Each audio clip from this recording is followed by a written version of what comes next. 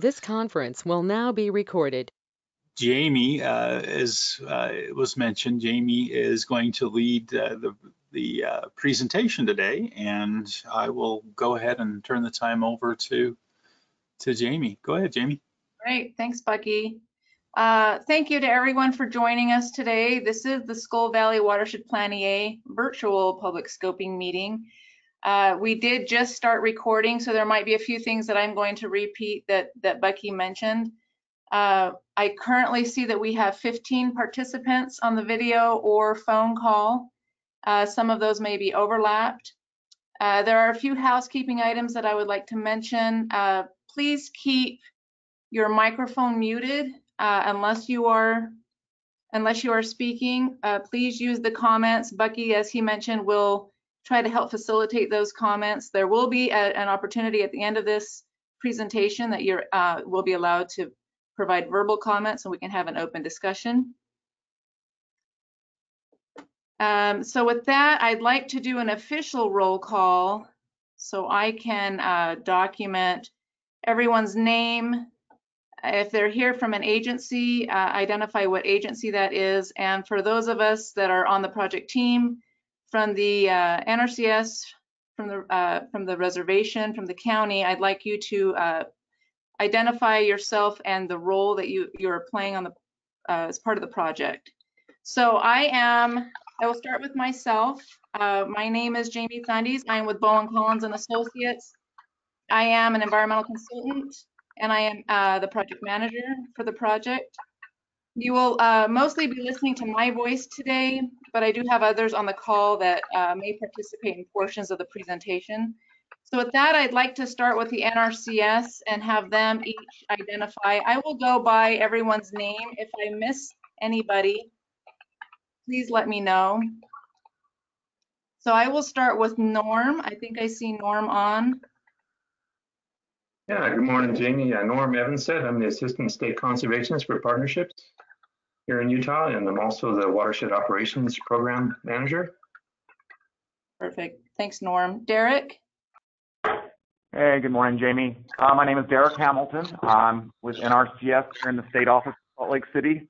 I'm the Water Resources Coordinator, and we'll be providing oversight of the project as we move forward. Thanks, Derek. Jason?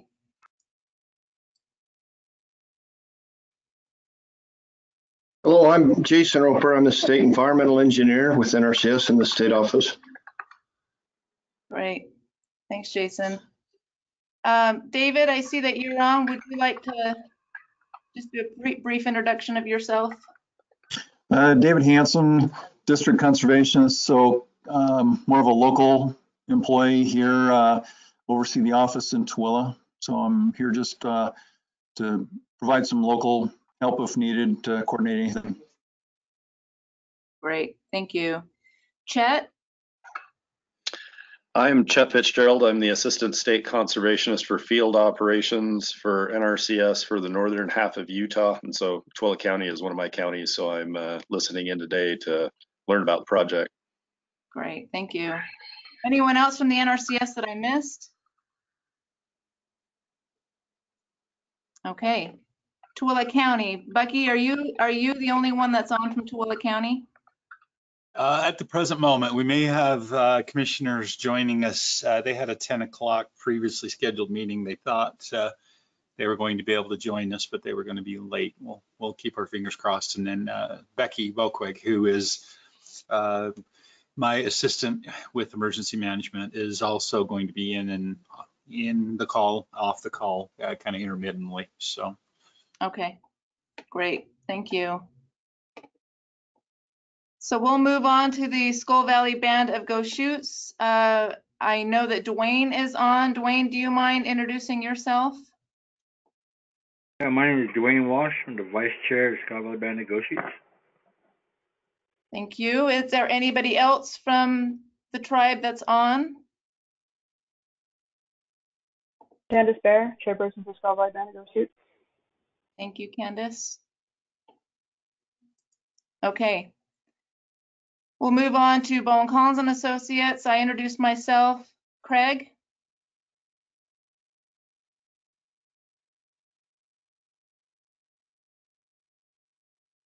Craig Bagley? Okay, Craig. Oh, hear me now? Yep. Okay. Craig Bagley, uh, an engineer with Bowen Collins and Associates. great, thanks, Craig.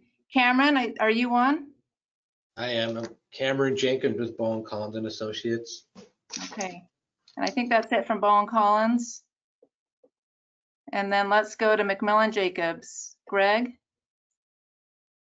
Yeah, Greg Allington with McMillen Jacobs Associates, uh, leading the NEPA effort for the project. Right, thanks, Greg. Anybody else from McMillen Jacobs? Anybody from the project team that I have missed? Yeah, hi, this is Jessica Peters. I'm the staff NEPA specialist at McMillen Jacobs. Great, thank you. Okay, I'm just going to scroll through these names. Uh, Melissa McCoy? Is, are you a public? Yeah, hi, this is Melissa McCoy. I'm from EPA Region 8's NEPA program. Great, thank you. Nancy Williams? Yeah, I'm a wildlife biologist with the Bureau of Land Management in, out of the Salt Lake Field Office. Great, thanks for joining us. Uh, Nicole Ring? Hi, um, I'm a fisheries technician with the BLM out of the Salt Lake Field Office. Okay, great. Thank you all for joining. I think I, I uh, addressed everybody. If I've missed anyone, please let me know. Okay. All right, well, this first uh, uh, slide or image that I'm showing here is the mailer that was sent out. It was sent out to federal and state agencies, uh, county departments, and other interest groups, tribal leaders for distribution to the tribe and adjacent property owners. Uh, for more information, you can go to this lower left link. Uh, there will be information that, as it becomes available that will be loaded uh, or uploaded to that link. Um, I'm hoping that we can also upload this video to that link, and I just need to check with the NRCS and make sure that that is um, available. Comments will be received until July 10th. You can also email at svwatershed@bowencollins.com to submit your comment prior to July 10th. So let's go ahead and start the PowerPoint. We just did the introductions. So this is a getting everyone acquainted with the site, where it's located. The Great Salt Lake is up to the north. Uh, Tooele Valley is to the east. And then our project is all located on the, uh, the Skull Valley Reservation on the left side of the Stansbury Mountains. Oftentimes I get questions from agencies, uh, how close are your properties to uh, the project area? It is all located on reservation land. However, we do have BLM property here in the darker green. And you get up into US Forest Service property with this gray, gray area to the right of the screen. The green are, are private lands. I will also note that UDOT has uh, land ownership of a portion of the Skull Valley Road. So the purpose of the meeting today is to explain the project, explain the NEPA process, discuss the project issues, and then also receive input.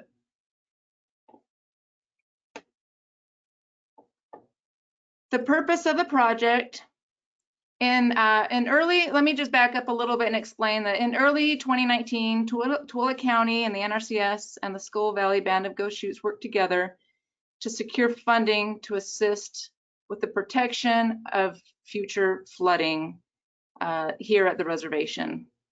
Tooele County submitted for what's called a PL 566 program, which is an NRCS watershed protection and flood prevention program. Uh, this program authorizes the NRCS to help local organizations and units of government plan and implement watershed projects. Because the funds use uh, are because the funds that are used are federal, this requires that the watershed plan be evaluated under NEPA uh, or the National uh, Environmental Policy Act. Uh, And we'll talk more about that. Greg is actually going to talk more about the NEPA process later in the presentation. So going back to these bulleted items that I have, uh, in 2013, there was a fire that was known as the Patch Springs Fire. Later that same year, there was a flood that occurred and caused um, a large amount of debris to actually flow down Indian Hickman Canyon. Uh, the, at that time, the NRCS uh, assisted by installing some K-rails, or uh, also known as uh, Jersey barriers, to redirect the flow. And in 2014, there was more flooding. So between the years of 2013 and 2014, there were homes in the village that were flooded, and there was also an irrigation pipeline that was damaged. Have I missed anything there, uh, Bucky or NRCS or, or Candace or Dwayne? Does that, for the most part, cover? Yeah, I think you've, you've covered it. Yep. Okay. Moving on to this next slide, uh, I mentioned that the that there is a, the PL 566 program. Uh, this is just showing some of the ongoing watershed uh, plan pro Plan EA projects that are currently ongoing, uh, and we're just highlighted here at the bottom. I just wanted to show that this is um, there are several projects that are benefiting from this program, and we are one of them. So where are we now? Uh, we kicked off the project in the summer of 2019. We met uh, on the reservation and did a site visit. We conducted some environmental clearances at that time, but not all. Uh, we happened to to meet with the U.S. Army Corps of Engineers from the Sacramento district while we were there. We um, they are, were doing a concurrent study, and I believe it's uh, looking at at culverts uh, to cross uh, Skull Valley Road. So we benefited from coordinating with them um, a little bit, and then uh, currently we are here in this red dashed area where we're providing our public scoping process to allow this project to move forward. Um, so after we have this scoping meeting, uh, we will document all the comments and then we will work over the next couple of months to develop design alternatives and address comments from today's meeting. Um, as you can see in the summer and fall, we will be conducting some environmental, uh, the, the remaining environmental clearances, any geotechnical investigations that may be needed. Uh, and then we will move into a 30% design drawings and the preparation of the NEPA document. Final design, if the project is funded, would uh, ideally happen in 2021, and then construction of the uh, selected alternatives or preferred alternatives would be in 2022. So the, the, the Watershed Protection and Flood Prevention Program is intended to prevent damage from erosion, floodwater, and sediment, furthering the conservation, development, utilization, and disposal of water, and furthering the conservation and proper utilization of land. The planning constraints, the watershed area has to be 250,000 acres or less. And the project uh, benefits or, or the alternatives need to be $25 million or less. Otherwise, if it crosses that $25 million threshold, it will go into a Plan EIS. So this is where we are. This is again a list similar to, to another uh, screen that I showed. We conducted a kickoff meeting. We've done some data search and data collection. We've done some preliminary hydrology modeling, which we'll see in some, um, some maps further into the presentation. We have met with the reservation and conducted our site visit, and now here we are at our public scoping. Again, this is open until July 10th. And then uh, following a, a additional engineering and our moving into our NEPA once we are done with our uh, technical memorandums. So I will actually turn the time over to Greg. Well, he'll, he'll explain the NEPA process.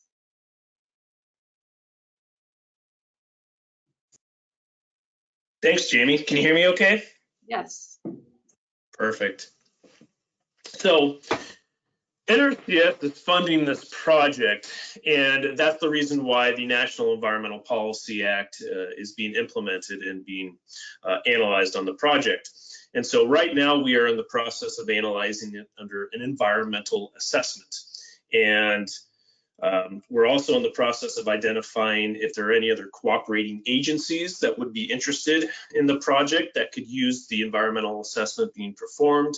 Uh, so the project team is reaching out to other federal and state agencies to see if anybody is interested. I don't believe anybody has uh, signed any official letters yet. Is that correct?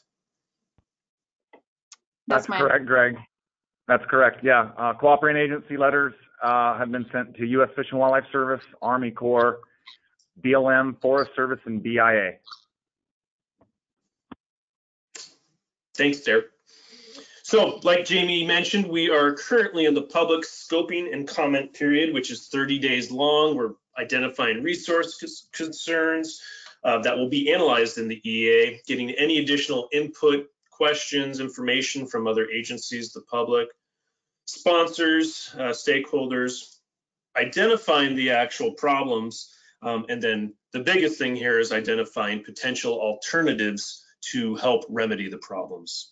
Um, after the scoping period, it will go into concept design and engineering analysis. And during that time, we will also be reaching out to the other agencies to coordinate and consult Army Corps of Engineers for waters of the US and wetlands, Fish and Wildlife Service for Section 7 and endangered species, uh, the State Historic Preservation Office for cultural resources, uh, and travel, we'll also do travel consultation, and then cooperating agencies, as we already discussed, state agencies, and then the stakeholder, which is the tribe themselves. Uh, next slide, please.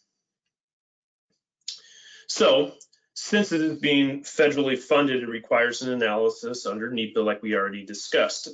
Um, so we are basically taking a look at uh, potential alternatives that will help remedy the problem, develop our purpose and need for the project, and then ultimately we will assess the alternative and the environmental impacts. And then that will allow NRCS state conservationists to make an informed decision about whether to approve the project or if additional analysis is required in an environmental impact statement.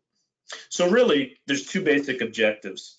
To ensure that decision makers consider the environmental, excuse me, the environment and planning projects, both natural and made, man-made, and we'll go over that in a second, as well as prevent and minimize damage to the environment. It's basically good decision making that benefits the stakeholder and the environment mutually. Next slide, please.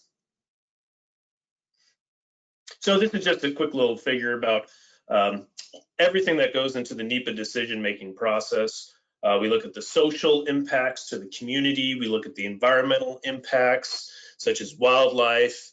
Um, we look at the economic impacts, how much the project is going to cost. And we do a, a pretty in-depth economic analysis of these projects to make sure that we are using the federal government's funds in an appropriate and justifiable manner. We look at public input, which we are part of the scoping process right now, and then also tribal consultation and working with the tribe in order to make sure they're getting the type of project and uh, meeting their needs. Next slide, please. So when we look at the resource concerns for a project, there's a pretty good list uh, on this sheet right here. It's divided up into soils, water, air, plants, animals, and the human environment. I won't go through the entire list because it's pretty lengthy. But as part of the scoping process, we will identify each one of these resource concerns that can be eliminated from analysis because it's just not relevant. For example, there aren't any coral reefs around the project area. But then we will look at ones that could be in the project area, invasive species, um, public health and safety, things like that. Next slide, thanks. So as part of, since this project is being funded by the Watershed Protection and Flood Prevention Program, we have to identify an authorized purpose according to NRCS regulations. So the left-hand column here just uh, lists out the specific authorized purposes. For this project, it's probably going to be flood protection. And uh, there is a description there Basically, it's measures to reduce or prevent floodwater damages by reducing runoff, erosion, and sediment. Now, there can be multiple authorized purposes for a project, but we believe that the flood protection is the primary one. And as we go through and, and look at potential alternatives and benefits to the area, uh, we will identify that in the environmental assessment about how we got to that. Now, the nice part about this is that the flood protection is actually cost shared under this program up to 100% funded by NRCS. And so as we go through this whole process and develop the cost estimate and coordinate more with NRCS uh, state and headquarters level, we'll identify what that cost share will specifically be for the project. So the NEPA process, right now we're in scoping. We'll go into the concept design development. Then our very first version of this will be an internal preliminary draft plan EA. Kind of a mouthful. We'll just call it a, a plan EA uh, moving forward with this. Once that goes through all of the internal state and federal reviews, we will come back out to the public and have another 30-day public comment period with the draft plan EA. This is when everybody will have a chance to look at the alternative being proposed, look at the environmental assessment um, of impacts that and our analysis of all of it, and provide comments back on the project. We will then take those comments after the 30-day comment period is closed and develop the final Plan EA. This final Plan EA goes to the state conservationist. They will he will or they will review it and decide whether they will issue a finding of no significant impact, which means the project is approved, or if there is a significant impact or further analysis is required, which would be the preparation of an environmental impact statement. Once that is complete, assuming that a FONSI would be issued, the project team would then uh, issue the administrative record. It would go into NRCS files, and then the project would go to actual final design. I will make a note, this NEPA analysis is taking into consideration a conceptual design of the project. So we talk about it maybe a 15 to 30% design level. After NEPA is done, then it will go into final design and they will create issued for construction drawings. Great. Thanks, Greg. You always do a great job uh, with the NEPA portion, so I'm, I appreciate your chiming in there. So going back to the project area, this I, have um, shown the project impacts in red uh, for reference, Indian Hickman Canyon, Dry Canyon further to the south, and then the Skull Valley Road to the left side of the screen. This is an aerial that, that shows existing conditions from Google. Uh, again, Indian Hickman Canyon, Dry Canyon, and then Skull Valley Road. The reservation, the village is all located uh, for the most part in the middle of the screen. This photo is taken looking up stream uh, at Indian Hickman Canyon, uh, U.S. Forest Service land up here at the top. And then you can see all of this debris. Uh, this photo probably doesn't do this justice, but th there is a, a, a, lot of debris that actually came out of this canyon. You can see the fire with all the burnt vegetation uh, as well, and then a trickle of water, which uh, you don't see very much. It disappears into the ground uh, shortly after this photo. And just kind of showing existing conditions. This is near the village, uh, Indian Hickman coming through here where you see the, the vegetation, most of the vegetation growing. So this figure has been prepared to show some of the ideas that we've had in talking with the reservation, uh, with the county, and with the NRCS. Uh, these are all conceptual. Some of these would have to work in conjunction with each other. They, they may not be able to be standalone improvements. Uh, one thing I want to note is this is a computer simulated rainfall uh, flood hazard areas that you see in blue. So you can see where a lot of the flooding has the potential of coming right through the village, uh, but most of the water would come to the south of the village. So one thing that we've looked at is whether we develop some type of berm that, that uh, sends the water north and around the village. Uh, Another berm that would take and divert everything to the south of the village. Uh, Looking at adding, possibly adding some type of land formations, which would be very uh, gentle terracing to help distribute that water and then uh, direct it into a channel to the north or to the south. Uh, Another alternative that we have considered is whether we need to put a sediment or a a water detention area further upstream and uh, reduce or, or release water gradually. And then uh, showing the residential area here in red. Property lines are dashed, so I'm, I am showing that uh, all of these project improvements would be on reservation land. I think the next slide is just talking about uh, any other projects that we're coordinating with. As I mentioned earlier, it's the uh, U.S. Army Corps of Engineers has a culvert sizing project that they uh, have prepared. And if we can uh, get the final results of that, then we can find the locations of where they've identified these culverts along Skull Valley Road. So we can help divert the water in the appropriate area to cross this road and uh, continue further to the west. So from my engineers at Bowen Collins, I don't know if anybody has any uh, additional information they want to add pertaining to this slide. Uh, But this concludes the, um, the overall presentation that I have prepared, and I can open this up for questions. I just Hey, comment. Jamie. Go ahead. I was just going to say that, that this land is all on an alluvial fan, and as we noticed in that, there's the first photograph.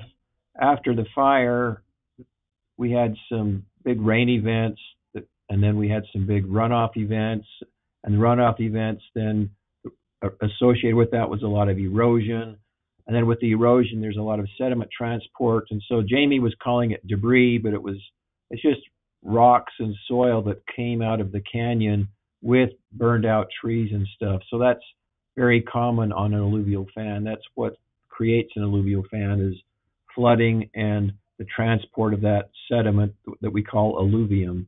So it's it's not uncommon that uh, when when you get those radial contours at the, at the mouth of an alluvial canyon or on an alluvial fan, that you know the a, a creek or a a stream can there might be one there and then you'll have a flooding event and debris and sediment can could plug and then it can just turn and go 90 degrees or anywhere else on the fan. So uh anyway i just wanted to bring out the point that you know water can go anywhere on that fan and that's what we're it, it, it does it doesn't necessarily have to stay confined to the channel and its existing location. That channel location can change Thanks, Craig. That was Craig Bagley with Bowen Collins. Derek, I think you had a comment? Yeah, hey, Jamie. Um, also just wanted to point out to the group that, um, this project's gonna look at, uh, alternatives to address, um, floods and preventing floods in the future, but it's also gonna establish a watershed boundary. And that, that's pretty important for Forest Service folks and and BLM folks to understand why we reached out to them and requested them to participate as a cooperating agency. It's not because the project measures are located on their lands. It's because the law, the larger watershed boundary includes their lands. So, so that's important to understand that we're actually going to be establishing that boundary with this plan as well. Um, and then in addition to that, I just wanted to point out to folks that we typically have a 30 day uh, public notice period uh, associated with these plans and these public meetings. Uh, but in this case, we went ahead and extended it to 45 days uh, just because of our, our virtual meeting scenario and just giving folks a little bit additional time uh, because of these unique circumstances. So just wanted to throw that out there. And uh, again, uh, thanks everyone for uh, calling in and participating. Thank you, and that's a good point. I have, uh, I briefly popped that up. I'm gonna see if I can bring up that watershed boundary that was uh, identified in the proposal. But while I'm doing that, does anybody else have any other comments? I, I did notice that we had somebody join us. Uh, we're now up to 16 participants. There's a Carolyn Gleason. Do you mind just uh, letting us know, are you from an agency or, uh, or from a, the public? Hi there. I'm uh, with EPA Region 8, the NEPA program there, along with Melissa McCoy. Great, thank you. So I, uh, I was hoping to extract this, but, um, but that's okay. I will just show it in here. So uh, this black outline, I think, was uh, the study boundary. It doesn't necessarily capture the exact watershed boundary, but you can see that this does extend up further, like Derek was saying, into the forest, and that is, and, and it also crosses BLM land. But our project area is down here in this yellow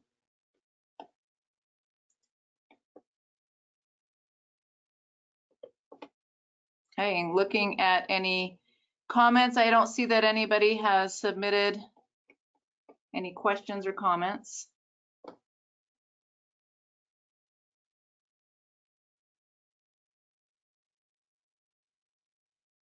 So if we don't have any other, uh, yes, Jamie, do you want to do you want to talk a little bit about? I mean, we just mentioned the alternatives, but you know, if we build a detention basin at the mouth of the canyon, that would require a dam, and it would require probably a lot of maintenance. So that I mean, that's one thing that we'll consider. Um, if we develop if we develop a, a, some type of diversion berm or dike or levee down below that would be you know probably require not a lot of maintenance and, a, and the, its primary purpose would basically to try and and uh, divert any of that sheet flow that may be leaving the channel and out on the fan and just divert it around uh, around to a place where if it floods it's not going to damage anything so we could either go north or south and then those land formations would be a series of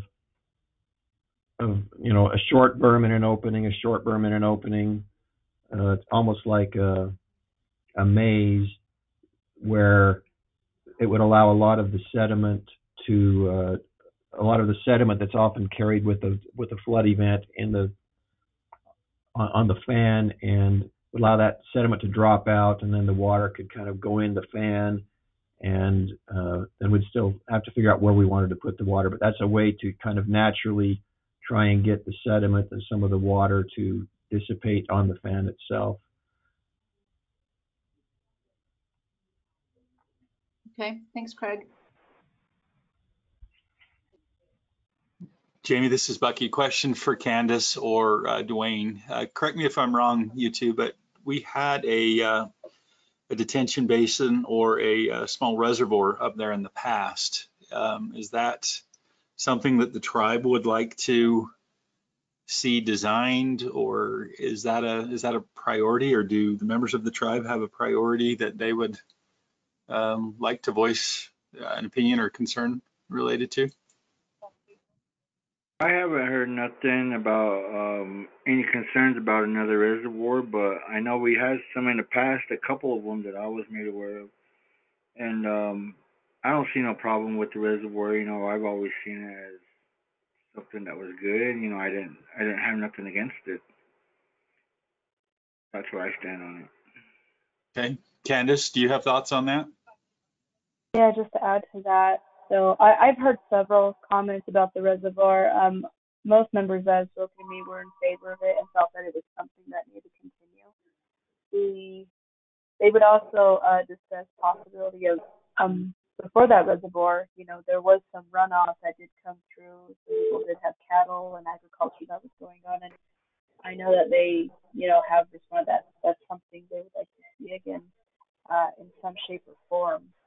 So I, I think the reservoir is always a good idea, you know, based on what I have heard.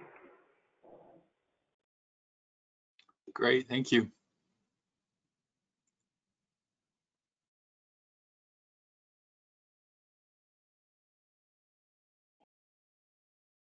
I think Norm asked if there's been any feedback from UDOT. Uh, I don't think that we have received any feedback from UDOT with regards to Skull Valley Road. Derek, have you, um, have you heard anything from UDOT? I have not. Okay. I just think, I just think we include them as a stakeholder and, uh, keep dumping information on them as, as we learn more. Okay, Jamie, for the record, I have had conversations with uh, one of their, their managers in the area. They run into a chronic challenge of trying to keep cou- two of their culverts uh, clear um, uh, out in that general area. And so they are, uh, I guess, favorable to, to whatever can be done to uh, uh, above to, to try to, you know, minimize the challenges that they, they are having with that as well. okay.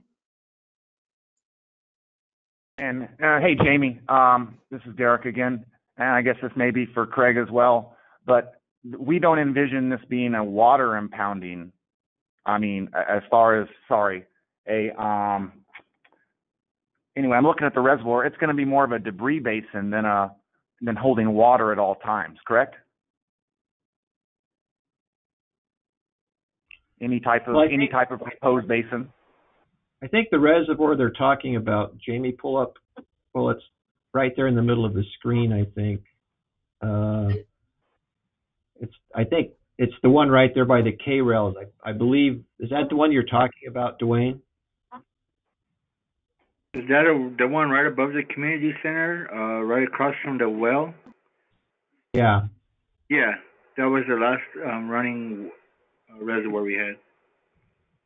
I'm assuming that that probably got its water from that pipe and not, Yeah. not from the, Yeah, it was coming out from a pipe that was underneath the ground, the one that we looked at when you guys first came out. So as, as part of, so we got to figure out as part of this project is putting water back in that pond one of our objectives? And if we do that, we would probably have to reestablish that irrigation pipe. The irrigation diversion or, or I don't know if it was all for irrigation, but what I understand there was a, a diversion where they took water out of at the mouth of the canyon that was in the, the drainage, put it in a pipe, and it came down. Part of it went here.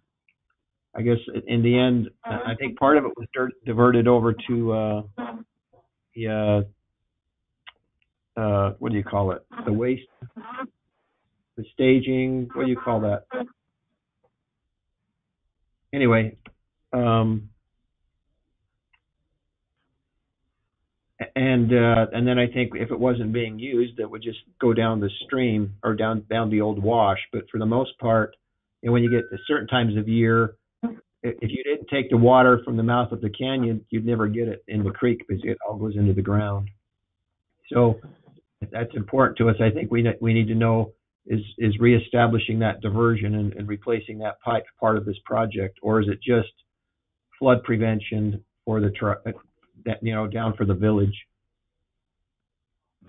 That that helps. I, I just we've had some uh, misunderstanding at some public meetings on other projects when we talk about you know constructing a dam, and, and some folks understand that it's a dry dam, and others believe it's going to be a reservoir with recreational opportunities. So just just wanted to kind of dial in on that a little bit. So thank you. Yeah. So yeah. So in this case, you know, one of the alternatives would be to build a dam at the mouth of the canyon, but I but that would be, you know, it, it would it would have a visual impact, but it would be a dry dam most of the time, uh, and it wouldn't provide. It would just be a dry detention facility, and the only time it would have any significant water in it would be during a large storm event and after a large cloudburst uh, or after several of them, you know, it's likely to, to a facility like that would have to be cleaned out every once in a while because it's going to fill with sediment and debris.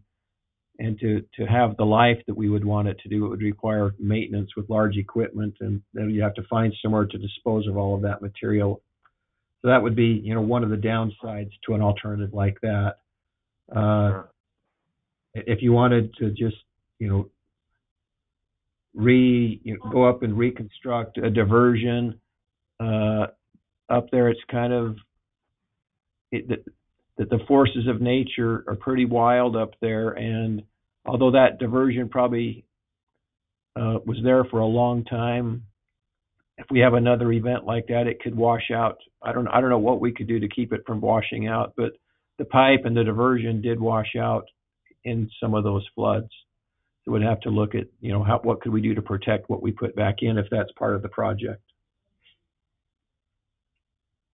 So on my screen, I currently have some photos. Uh, I think at one point we did get a photo of that pipe, but I'm not sure if it's in this group that I'm looking at right now.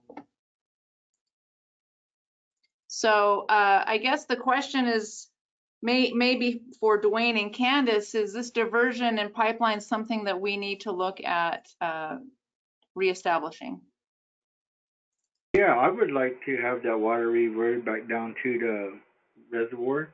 You know, to have one of those reservoirs would be something good for us, and to lay that piping back down is good too. I see that as a benefit for us, and if that fits into the scope of projects that we're doing, I'm all for it. You know, and I and I have been up there and I've seen all those water lines, those pipes. They they're all they're all messed up. So everything would have to be replaced and reestablished and securely covered. And you know, I don't know how we're gonna go about it, but you know, that would be something that I'll I would be for. Okay.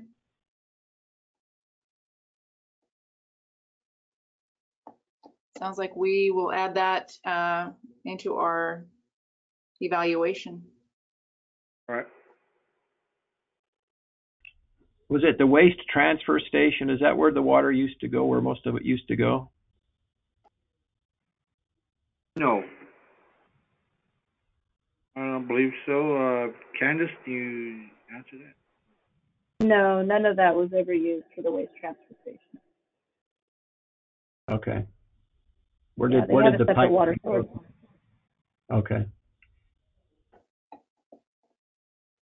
So we we take we we take the water from the mouth of the canyon, and then where did the pipe go? Down to the Down to community. the reservoir.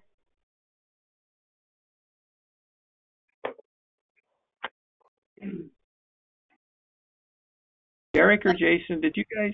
We talked about this at one point, but did you guys kind of as built what that used to be?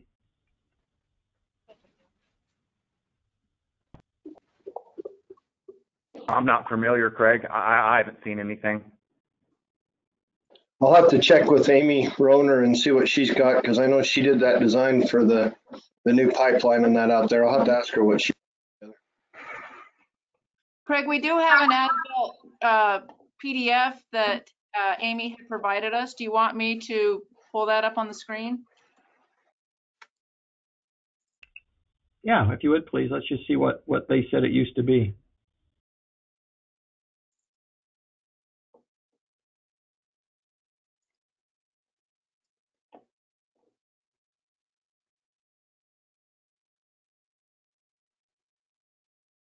Are you able to see that?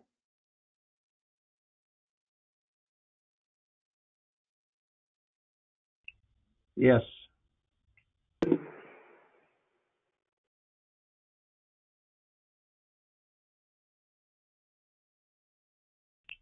Although this doesn't show the pipe that goes up the canyon, this just shows the stuff right down by the village. they, we didn't do anything up the canyon. They just started right here and that's where they did the project was start right down closer to the, the homes and the residents. So This might be a separate system then, because it looks like this was work that was done to get water back to the transfer station. So I know that there was a diversion up a little bit higher, so we'd, would have to do some work to figure out.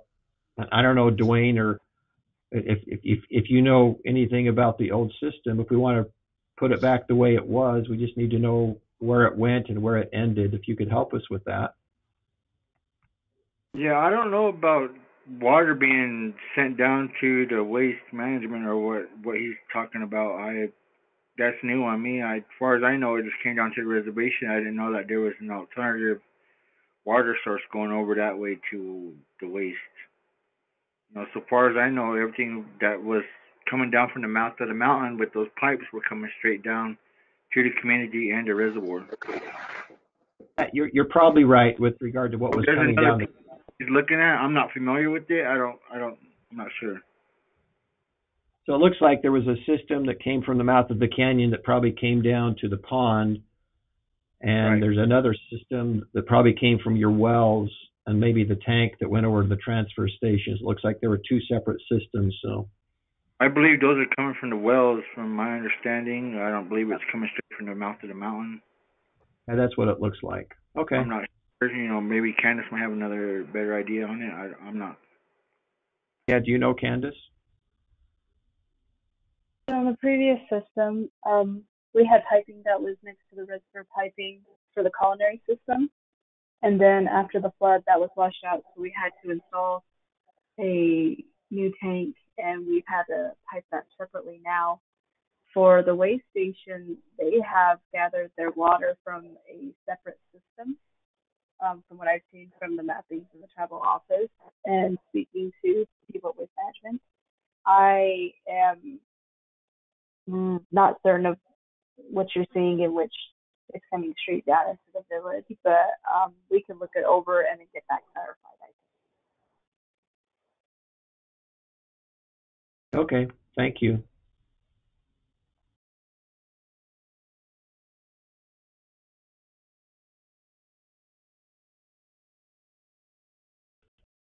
Okay.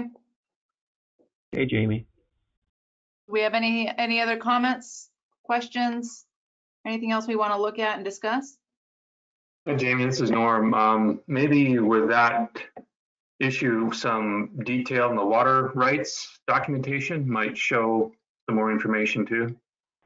Okay, check that Norm. Uh, there aren't any, and there's there's no record of any point of diversion in the state records. But I think because of because it's on tribal lands, I don't think they need water rights, from what I understand. At least that's what I was. I've read that somewhere. I think. Is that is that the case? Something we need to confirm. Yeah, probably just something just to confirm and, and do a check on it, I guess.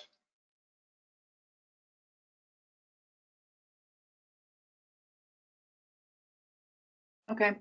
We'll check on verify water rights. Any other comments?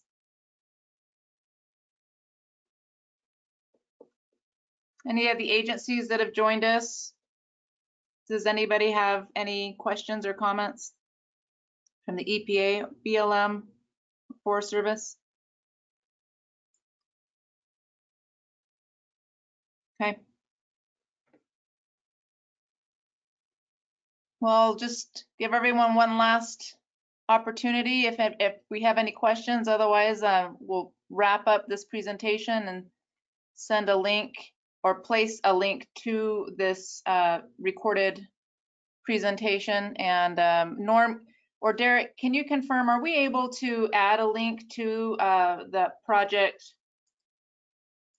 to this link down here at the NRCS's website? Are we able to provide a link to this video? Yes. Okay. Yeah, we can, we can arrange that. Okay. So if anybody wants to go back and uh, listen to this video again, you're welcome to go to this link. Again, comments, please submit comments via email to svwatershed@bowencollins.com. Comments will be received through July 10th. And with that, I will um, I will wrap this up. I thank everybody for participating. I think doing uh, these virtually sometimes allows uh, additional agencies to listen in and participate that sometimes uh, they're not able to. So thank you very much for listening uh, via phone or video. And um, have a great day. Thank you, everyone. Thanks, Jamie. Thanks, everyone. Thanks. Becky, you can stop the recording now.